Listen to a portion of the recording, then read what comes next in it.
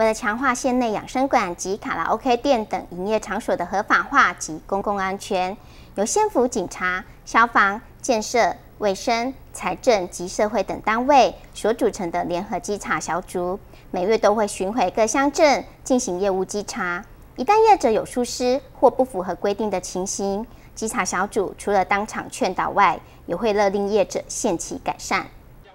由警察、消防、建设、卫生、财政以及社会等单位组成的县府联合稽查小组，每个月都会针对县内八大行业进行二到四次的联合稽查工作。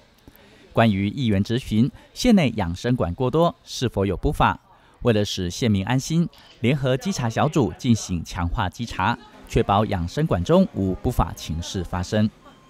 呃，在县议会啊，因为有议员呢在关心哦，我们南投县的养生馆哦太多了哈。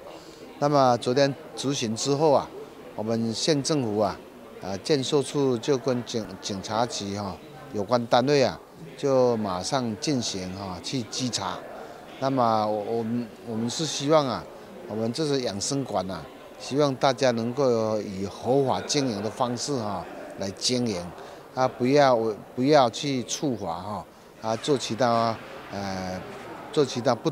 不不能核准的行业哈，啊，像吸毒了各方面的都这方面，如果被查到的话哈，我们是一定要严格让他勒令停停业，不能来开业哦。啊，所以这一点呢，我是希望啊，我们所有的养生馆啊业者啊，都要格外的遵守你当初申请要开业的工作项目哈。啊，不要贸然的去违法。